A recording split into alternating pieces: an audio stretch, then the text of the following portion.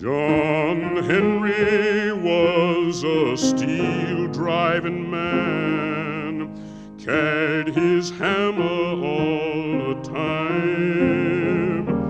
And before he'd let that steam drill beat him down, said he'd die with his hammer in his hand. Said he'd die with his hammer in his hand.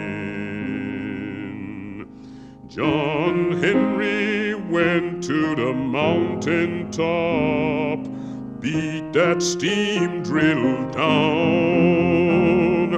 But the rock was high, John Henry was so small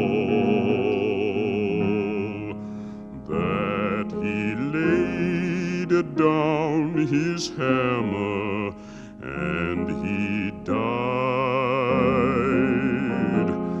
Yes, he laid down his hammer and he died.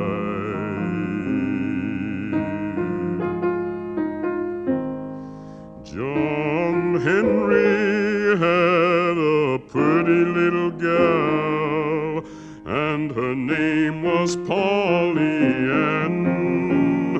And when John was laying on his bed so low,